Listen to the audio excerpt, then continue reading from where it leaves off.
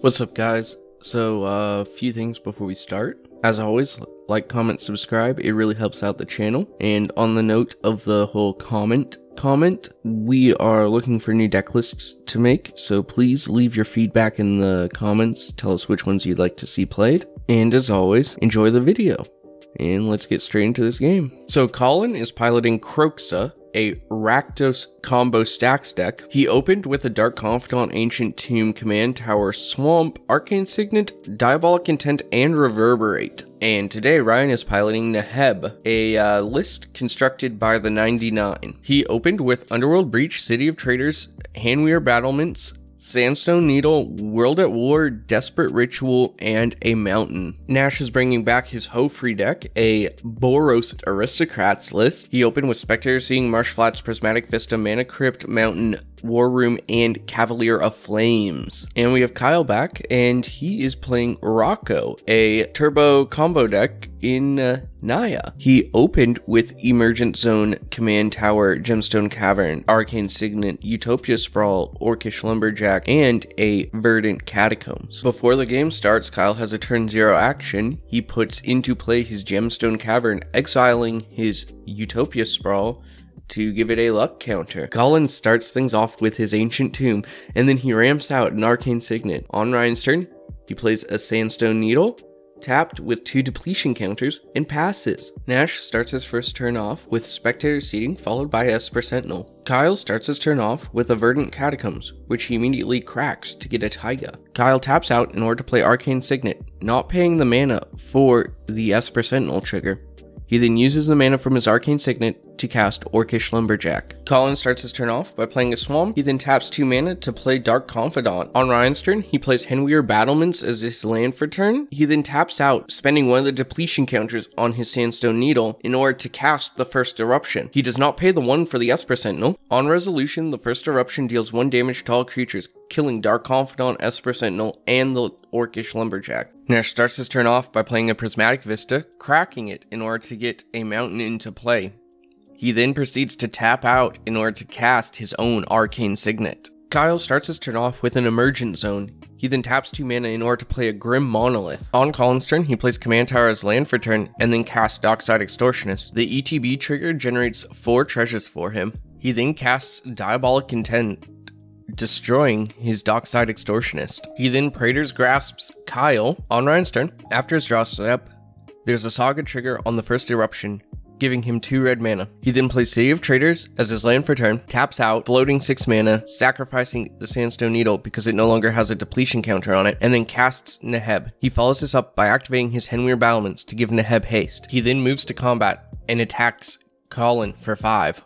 On the Neheb attack trigger, he discards 5 cards, making 5 mana and drawing 5 cards. On second main phase, he casts Captain Lannery Storm, followed by a Vessel of Volatility. On Nash's turn, he casts his Mana Crypt and then follows this up with Sacred Foundry as land for turn, shocking it in for 2. He then proceeds to cast Cavalier of Flame and passes the turn. Kyle starts his turn off with a Marsh Flats, cracking it to get his plateau. He then proceeds to cast his commander, X1, in order to get a Wirewood Symbiote. On Colin's turn, he starts things off with a mountain as land for turn. Colin then casts Underworld Breach using his Ancient Tomb for mana, taking 2 damage. He then exiles 3 cards from graveyard in order to cast his Dockside from his graveyard, getting 6 treasures off the ETB trigger. He then casts the card he exiled with Praetor's Grasp, which is a Temur Sabertooth, using two of his treasures. He proceeds to activate Temur Sabertooth trying to bounce Dockside Extortionist, but Nash replies by casting Swords to Plowshares on the Temur Sabertooth. After all this resolves,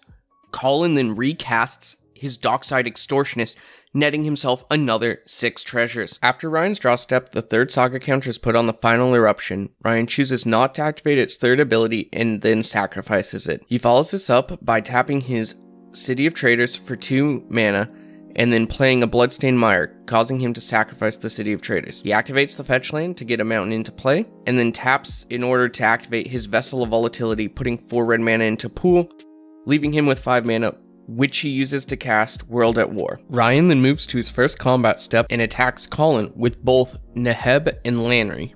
Ryan discards and draws 3 cards off the Neheb trigger, making 3 red mana and creating a treasure off Lannery. Ryan then uses all three of the red mana created in order to play Tome of Legends and activate its draw, removing a page counter.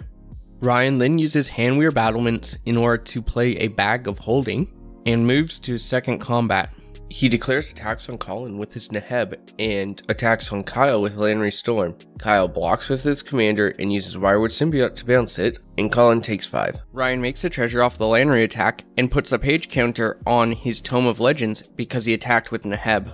On Neheb's combat damage trigger, Ryan discards two cards, which are exiled by Bag of Holding. He then draws two cards and makes two red mana. He then uses his two red to activate his Bag of Holding. On Nash's upkeep, he fails the crypt trigger and takes 3 damage. On Nash's turn, he plays a mountain and casts Hofri. Kyle starts his turn off by playing his command tower. He follows this up with a mana vault and his commander, getting his Felidar Guardian into play. He uses the Felidar Guardian's ETB trigger to flicker his Grim Monolith, untapping it. Colin starts his turn off by casting Feed the Swarm and Reverberate in order to destroy the Wirewood Symbiote and the Felidar Guardian. At the start of Ryan's turn, World at War is cast a second time due to the rebound trigger. Ryan activates the second ability on Bag of Holding, putting the three cards he has in exile into hand. Ryan moves to his first combat step and attacks Kyle with both Neheb and Lannery. Ryan adds a page counter to his Tome of Legends and puts a treasure into play. Kyle blocks Lannery and takes 5 from Neheb. Off the Neheb damage trigger, Ryan discards 6 cards, draws 6 cards, and makes 6 red mana. On second main, Ryan casts Raking Claw on Neheb, followed by Memory Jar, cracking the Memory Jar to draw 7. Ryan moves to combat and attacks Kyle with Neheb. Kyle responds by casting Silence. Colin responds by Chaos Warping his own treasure, hitting a swamp. On EOT, the delayed Memory Jar trigger happens, causing everyone to discard their hand and put their old hand from exile back into their hand. On Nash's upkeep, he fails the crypt trigger, taking 3 damage, and then follows this up by casting Ao the Dawn Sky on his first main phase. He then passes the turn. Kyle plays City of Brass and passes. Colin starts his turn off by tapping his Ancient Tomb, taking 2 damage, and then casts Tinybones. He follows this up by casting Kroxa, who then has 2 ETB triggers, causing everyone to discard one card, and then being sent to the graveyard. Colin then escapes Kroxa, paying 4 mana exiling three cards, causing everyone to discard another card. Then on end step, Tinybones triggers, drawing him a card and losing him one life. Ryan responds to the Tinybones trigger by activating his Tome of Legends to draw a card. On Ryan's turn, he moves straight to combat and attacks Kyle with his commander. Kyle responds by activating Emergence Zone in order to flash out his commander, getting a Karmic Guide into play.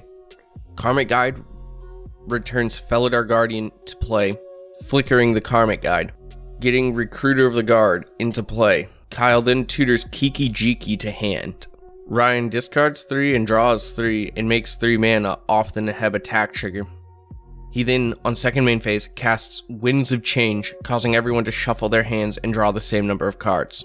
On EOT, there's another Tinybones trigger, giving Colin a card and dealing 1 damage to him. On Nash's turn, his crypt triggers, he does not take damage, this turn. He then proceeds to cast Sun Titan, which off the ETB trigger gets a Goblin Engineer into play. Goblin Engineer has an ETB trigger, allowing him to put Phyrexian Altar from his library into graveyard. Nash then passes the turn. On Kyle's turn, he pays 4 mana to untap Mana Vault and passes.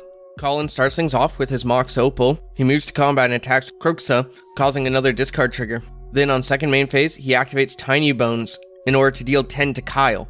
On Ryan's turn, he activates his Tome of Legends to draw a card, then plays Prismatic Vista, cracking it to get a mountain, followed by a Chrome Mox. Nash starts things off by activating his Goblin Engineer in order to sacrifice his Arcane Signet to get Phyrexian Altar into play. He then proceeds to sacrifice AO to the altar, getting him a token copy of AO and AO's death trigger. The death trigger puts into play a fanatic devotion and Kami of false hope. Nash then sacrifices the Sun Titan, getting a token copy, causing another ETB trigger, returning Mother of Runes, which he immediately sacrifices to make a token copy. He then casts Cavalier of Dawn destroying the Felidar Guardian. He then moves to combat and swings out at Ryan for 30. On second main phase, he double sacrifices his Cavalier of Flames, causing two triggers, dealing 14 damage to all players, winning the game. Uh, before you all peel out of here, I'd just like to say thank you for watching our video. I hope you enjoyed. Uh, again, like, comment, and subscribe. It really helps out our channel. And thank you to everyone who supports us and helps us with our content.